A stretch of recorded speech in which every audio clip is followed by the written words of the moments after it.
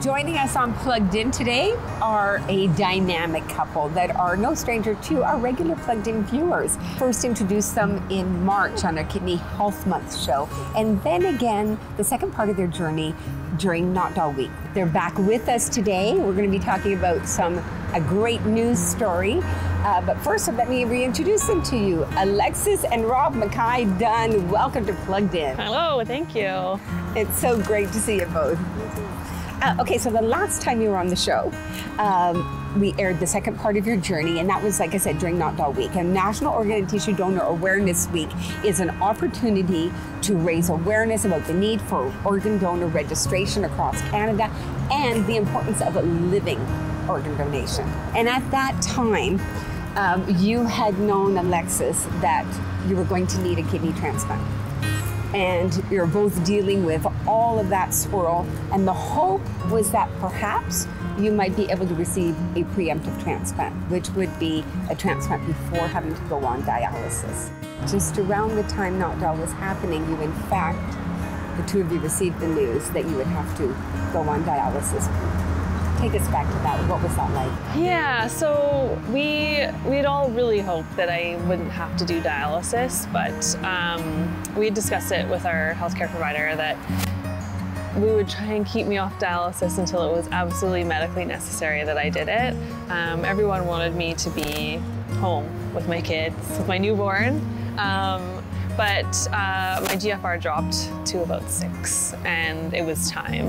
And um, I think the the fear of, of dialysis was probably greater than you know the actual dialysis itself. Um, uh, so I did start dialysis mid-April, and you know it did actually make me feel a lot better. Um, I got a lot of energy back.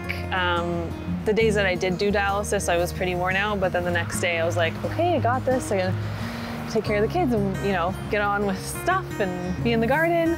Um, and then you know it's it was it was difficult. Um, just it took a lot of my time up, um, a lot of time away from the family, a lot of early mornings. Um, but uh, you know, fortunately, it was only a couple months, and um, it did actually make me a lot healthier in time for my transplant. So you are a young couple starting a young family. You have a beautiful baby daughter, but four months old maybe at that time.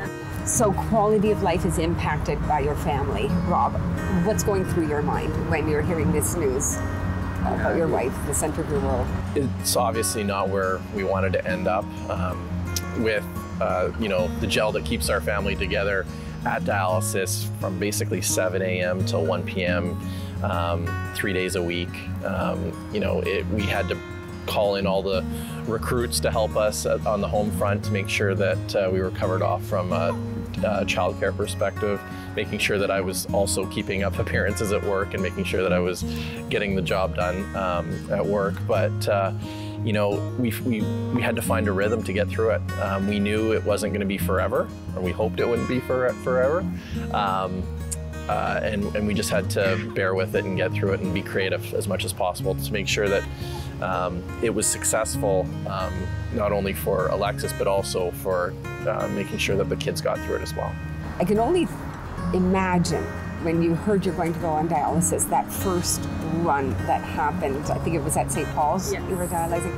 Can, can you describe that? Can you talk a little bit about that? That first dialysis run, uh, I had certainly had a lot of anxiety associated with it. I didn't know really what to expect. Um, the word dialysis has, I think, its own connotations that a lot of us don't really know what it is, or it sounds, it doesn't sound like a, a fun thing to do. Um, so I went to St. Paul's. They had given me the option if I wanted to do um, hemodialysis or peritoneal dialysis. Um, hemodialysis you can do in the hospital, um, whereas peritoneal, they put a tube in and you can do it at home. Um, but we felt that we had enough going on at home that the kids didn't need to see that. And I didn't need my two-year-old pushing buttons and whatever. Um, so we opted for hemodialysis. Um, so day one, they insert the permanent catheter and then we go into St. Paul's uh, hemodialysis unit and you're hooked up to this dialysis machine that, you know, this catheter allows the blood to flow out of you and into the dialysis machine where it dialyzes, which basically there's a filter on the side of the machine that acts as your kidney. And from there, they're able to supplement um, electrolytes, sodium, and whatever your, your formula is. Um, and they also take off fluid from your body that your, your, your kidneys are unable to do. Um, so you always have a goal weight and it takes four hours for that to all filter through. And Rob, you're really the caregiver of the family, helping out. Um, you know, what's going on? What are what's your thought process at this point with everything learning? Well, I think everyone um, is well past frustrated with my Google calendars and the family calendars and who's doing what, when, and where, um, because we were really pulling in resources from everywhere. You know, um, whether it was uh, Alexis's parents or my parents or family and friends. Um, you know, we we were pulling in everybody we could to help cover off as many moving parts as we possibly could. So it was kind of a well orchestrated chaos, and um, I think we got it mostly right. Wow, uh, definitely. So, Alexis, how long were you on dialysis? I was on dialysis for about two months. About two months. Mm -hmm. Okay.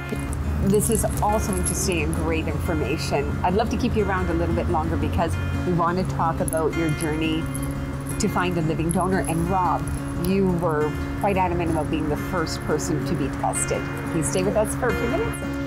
Of course. Yeah. Great. Don't go away. We'll be right back.